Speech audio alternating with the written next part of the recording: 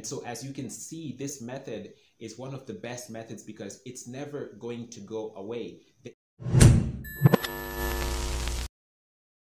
Hey guys, what is going on? This is Wycliffe from TechHood254 and on this channel we help you learn how to make money online in Kenya the legit way. So if you're landing here for the first time, kindly consider hitting on that subscribe button if you like content on how to make money online. And also don't forget to click on the bell icon so that you don't miss out on any videos that we upload in future. So in this video, I'm going to be talking about something that we get requested a lot. Uh, so many people, uh, whenever they contact us, they want to know which method they can use to make money online, or rather which method we actually use to make money online. And so I'm going to be sharing with you which method we've been using for almost uh, the last couple of years, probably six or five or six years uh, to make money online. And so by the end of this video, I want you to be able to know where you can find jobs and how you can find those jobs and also how much money you are likely to make and also to find out maybe whether this type of you know method of making money online is for you. So without taking a lot of your time in the intro let's just dive in.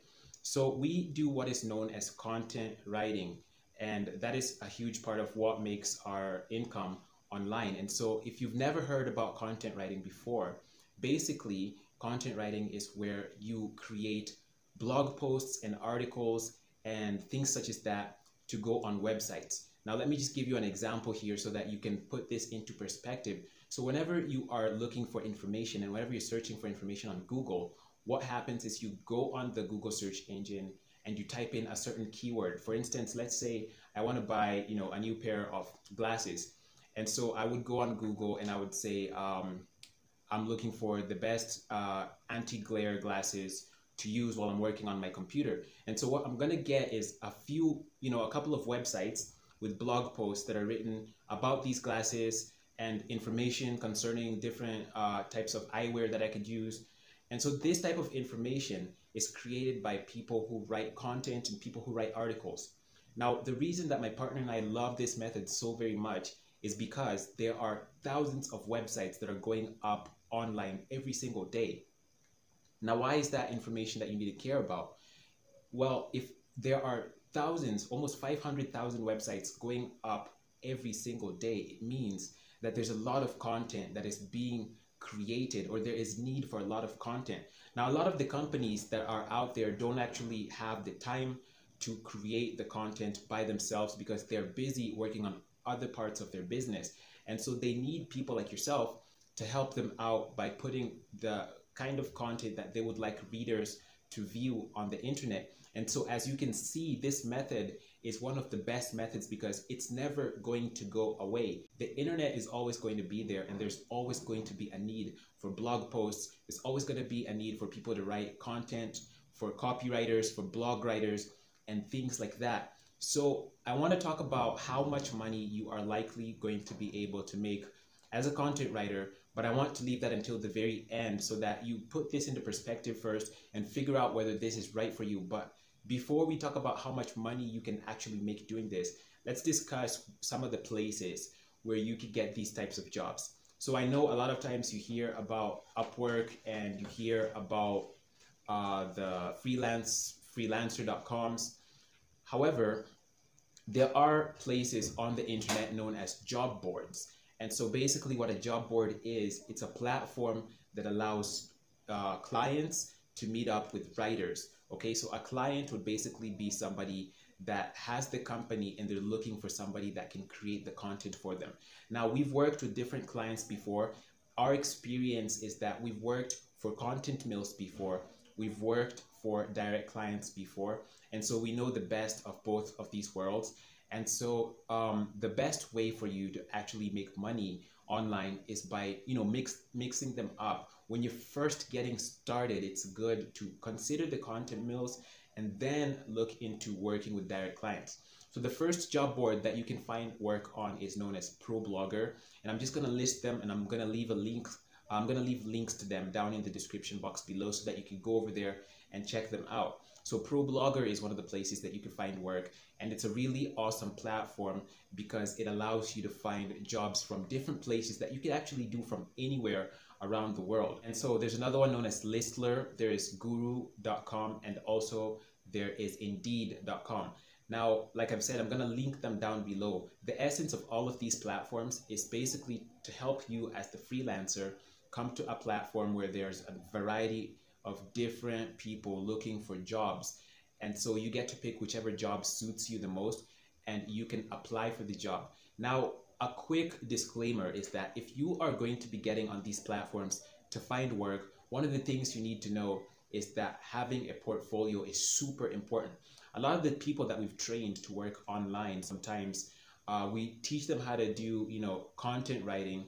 And so one of the mistakes that a lot of people, I see a lot of people making is they want to get jobs, but they don't want to create a portfolio. Creating a portfolio is super, super important. This is the first, one of the first things that you need to do after getting the skill. After learning the skill, the first thing that you need to do is to create a portfolio because a portfolio allows this uh, client to see that, all right, this person, this person, you know, understands their game. They know what they're doing. They, they understand what content writing is all about.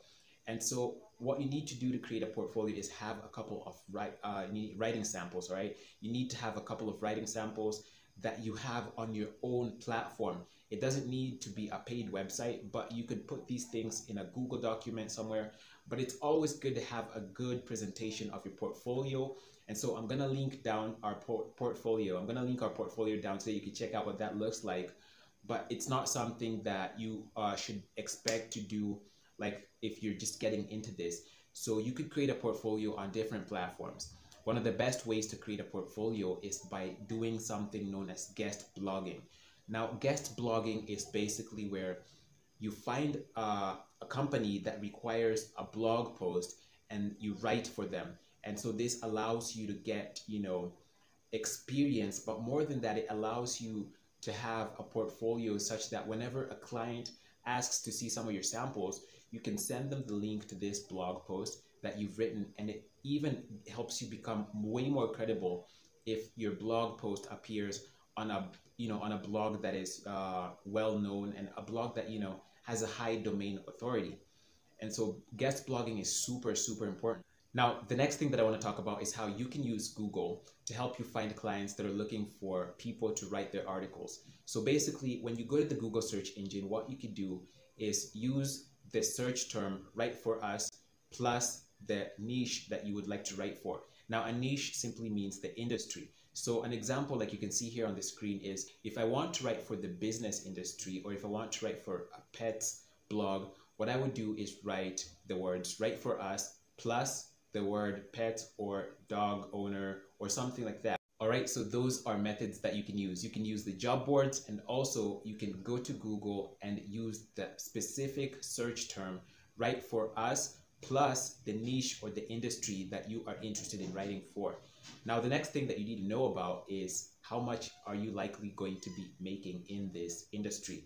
Now, this entirely depends on, okay, this depends on so many factors uh, first factor or the main factor is actually what is your skill level. Your skill level highly determines how much money you are likely to make in this industry.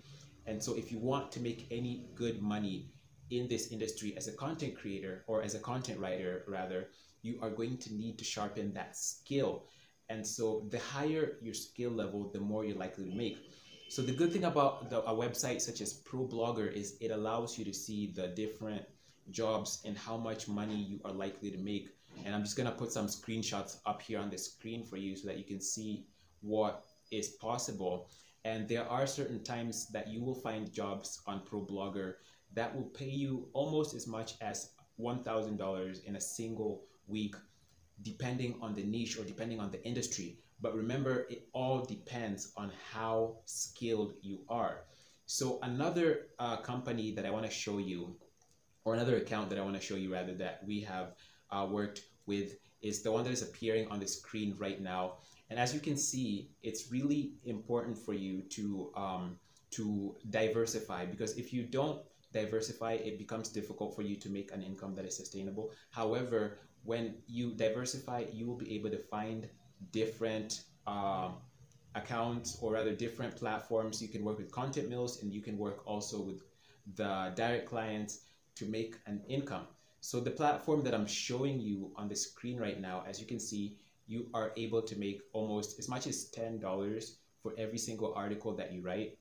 And what's important to note here is that not all these platforms are the same. I continue to stress on the word skill and practice because if you don't practice and if you don't have the skill, then what happens is a lot of times you won't find any clients, or a lot of times you might sign up for these uh, platforms and you won't get accepted to them. So that is all for this video. If you have any questions about you know this particular video, make sure to leave them down in the comment section. And also, if you're interested in sharpening your skill, we do have a tutorial that helps you do precisely that. Go ahead and check it out. It's the first or second link in the description box below. And I hope you got value out of this. If you did, don't forget to hit on that like button because it helps us spread the word to as many people around the YouTube platform.